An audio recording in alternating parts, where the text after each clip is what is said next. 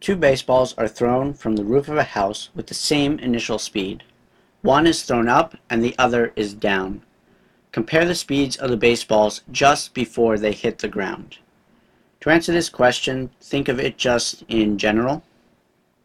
So if this is the roof of our house and we throw a ball straight up, it'll follow a path or trajectory that is parabolic until it falls and hits the ground. So here's our ground and here's our house.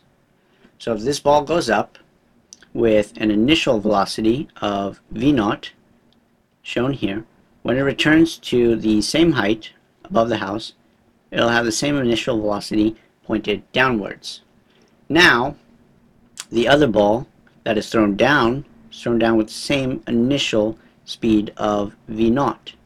You can see here that after some time, the ball thrown up will be pointed down with the same initial velocity at as which ball 2 was thrown down, but at a later time.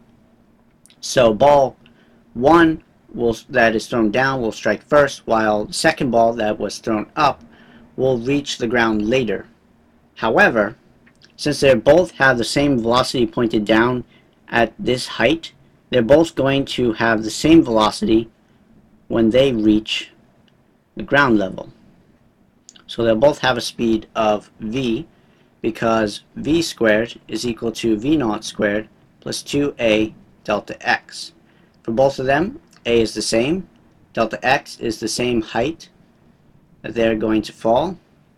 They both have the same initial velocity, therefore their final velocities will be the same. So the answer for this question would be C.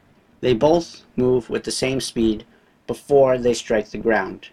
Once again, the ball thrown down will reach the ground first, but the ball that's thrown up will still have the same velocity, but it will just be in the air longer.